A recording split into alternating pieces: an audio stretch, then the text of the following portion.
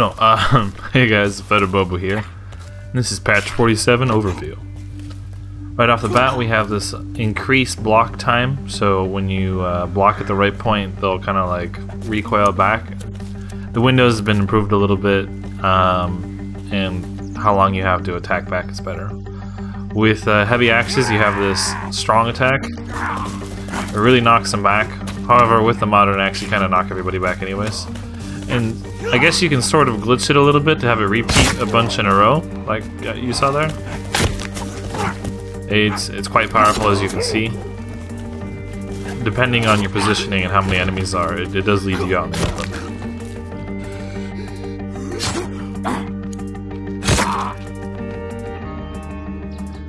The Bone Basket and the Arrow Basket have their own models now, and it's correctly updated into the books. Now what I like about this is you can also use these for decorations, so it's not just a bone basket, it's a square.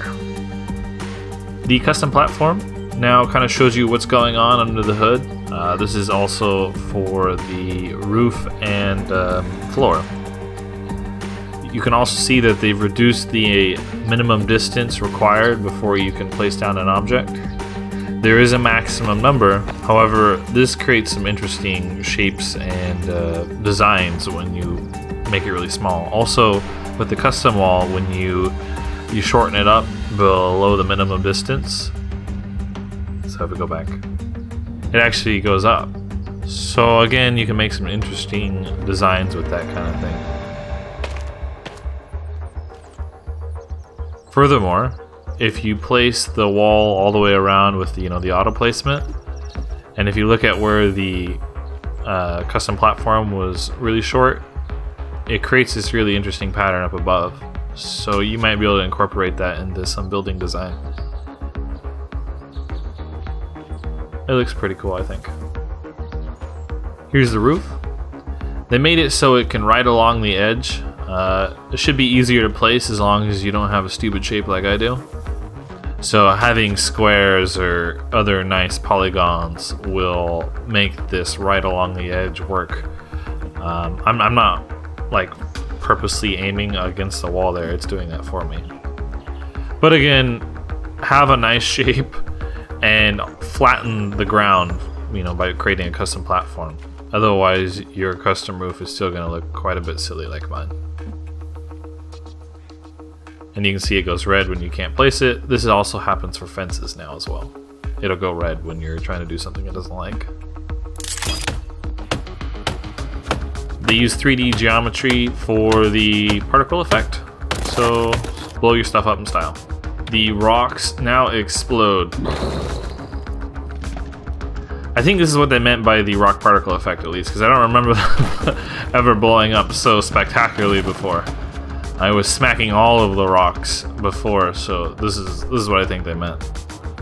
Now, usually I would go into the list when I find stuff that's interesting. I didn't find anything that was too like groundbreaking this time around. It was one of the smaller patches. Next one will be about 27 days. When they have a longer duration between patches is when you, at least in my experience, you, you can expect something a little bit bigger. So when they have like a patch and then one very shortly afterwards, that's when you expect like very minor changes, and then the bigger distance is probably going to introduce something a little bit cooler. It doesn't not it doesn't mean that it's going to be more areas in the vault. I really hope so. That would be so cool. But it probably means that there'll be a new object, new system, or, or something like that, being such a, one of the longer durations. Now I'll post down below an alphabetized list of the patch notes, including some of the fixes.